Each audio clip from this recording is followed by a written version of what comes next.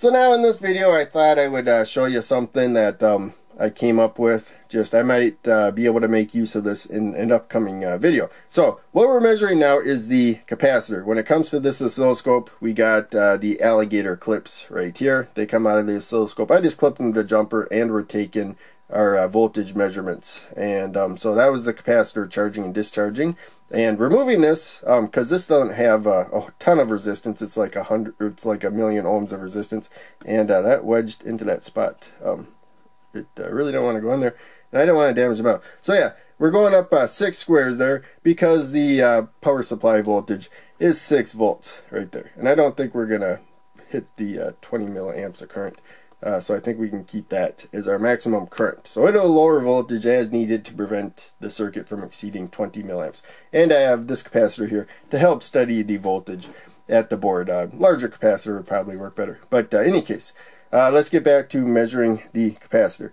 So again, um, you know, it's like a million ohms of resistance going to the positive supply. Since uh, we're measuring the capacitor directly, thanks to that little jumper there, it's astable mode. Um, you know, it uh, might make it so that the capacitor takes a tiny bit longer to charge at this moment uh, right here. So we have, uh, for the timing, by the way, 10 microfarad capacitor and uh, uh, 100,000 ohm resistor. But we got a diode there for the uh, charging right there. So this resistor doesn't really factor into the charging. When we got the discharging, when the blue LED is lit, then uh, all the current from the capacitor goes through that 100,000 ohm resistor again and that goes to ground. So we got like 100,000 ohms charging and uh, discharging right there so that uh, the output uh, basically goes high and low at almost exactly the same time, uh, especially if we don't have the uh, oscilloscope because it's like a million ohms of resistance there from the positive and or to ground I mean. So actually yeah, it'll kind of hinder the uh, charge a little bit because it's going to ground. I think I mentioned that wrong uh, before. But uh, any case, if you have a really good oscilloscope, it shouldn't affect uh, the voltage change at all. So we're measuring the capacitor. Now I have this uh, trim pot here. I'm going to set it down. Um, the positive supply is to the uh, top pin right there. So the wiper is the middle pin. I got that jumper. We have the other end. It's a resistive element. It's not connected to anything. So we just have the wiper sliding across the resistive element. So the more we turn it up over to orange there, uh, clockwise there, the more resistance we'll get. So with 10,000 ohm, we're going to go to pin 5. So the thing about pin 5 is um, the inside of the 555 timer between uh, pin 1 and uh, pin 8. Pin 8 is the, the positive side there. Um, closer to pin 1, we got three resistors wired as a voltage divider.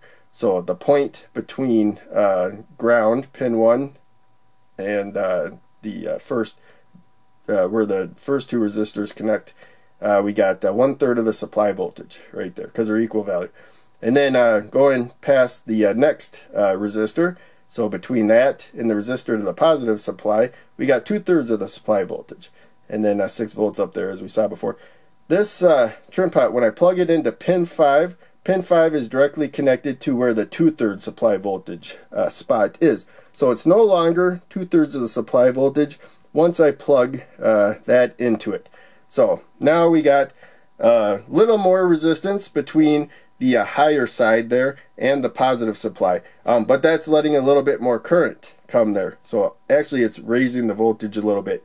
And since they're uh, resistors, um, that means that ultimately it's going to pull up the lower voltage as well, but only about half as much. Hopefully that makes sense. And uh, so we can adjust, um, well, we are going to adjust the duty cycle. It's not going to be about 50% anymore. Let's go about halfway right there. I think that's uh, pretty good. So there you can see we got to charge up to a higher voltage. We also discharge to a slightly higher uh, voltage, but uh, our bigger change was over there uh, towards the top. And then we got down there. And uh, we can, uh, this isn't really plugged in terribly well. And we can uh, turn this up. And I thought things kind of might have got screwed up while I was adjusting this. But yeah, I think I can really kind of get to 5 volts. And that's about it. At some point it does kind of usually kick in um, where we'll get a low. And again, we have this. So this is kind of a discharging the capacitor headed to ground. If I remove it there, you can see uh, it finally went up enough.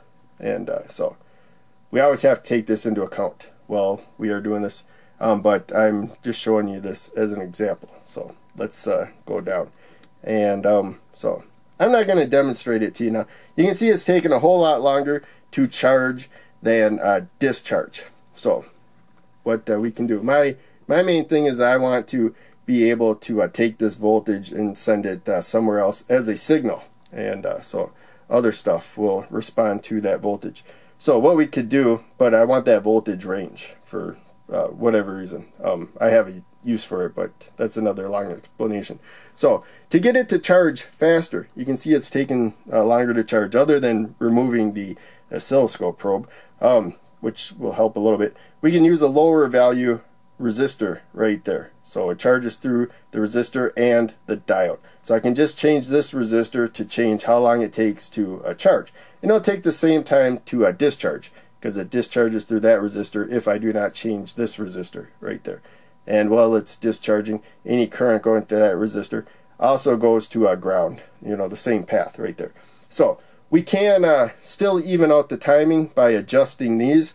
Uh, but um, you know the the voltage will go up quicker to uh, 5 volts and then uh, drop down same time if I leave the 100,000 ohm resistor there to uh, it looks like almost 3 volts you know maybe it's like two and a half or something. Um, so yeah it, it can go up quicker and then come down about the same time.